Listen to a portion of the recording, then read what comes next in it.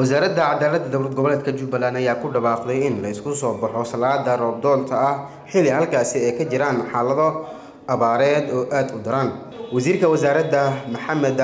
yuusuf cumar oo shir jaraa'id ku qabtay xafiiskiisa ayaa sheegay in shacabka magaalada kismaayo ay isku soo baxaan salaada roobdoonta si laaga fogaado dembiyada la galay laagana helo roob allah dhinaca kale wasiirka ayaa sheegay in maamulka magaalada iyo dhammaan shacabka magaalada ay tahay in ay ka baryaan in abaarta ka dulqaado.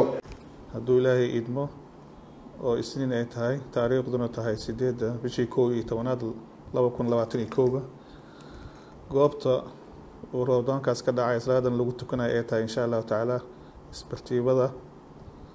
xilligana ay tahay laba saac subaxnimo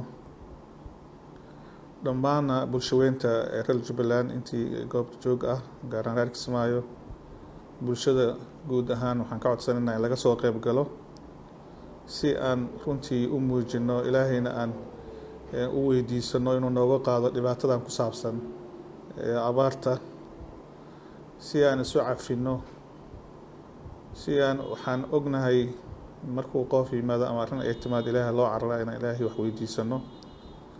sidaa daraaddeed waxaan codsanaynaa dhammaan in laga soo wada qeyb galo goobaha waxbarashadana in maxay ahayto maalintaas la fasaxo si waqti gaaban loo helo heer mas'uuliyiin heer shacab heer carruur dhammaan laga soo wada qeyb galo. Intaasaan ugu baaqaynaa bulshooyinta reer jubbaland ilaahayna waxaan ka baryaynaa inuu abaartan naga qaado oo aan isleenahay meesha keliya oo looga bixi karo waxay tahay inaan ilaahay u cararno ilaahayna aan weydiisano asaga gacantiisu deeqsan tahay. Sidoo kale waxaan rabaa inaan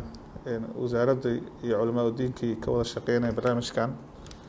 Ay hooshaasna dardargeliyaan fikriyo cusmaan cabdisaki soomaali warbaahinta city.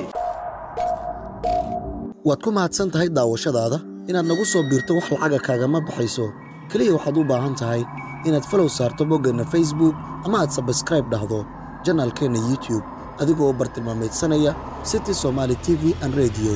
la jaanqaad warbaahinteenna oo hel warar iyo barnaamijyo adiga kaa hadlaya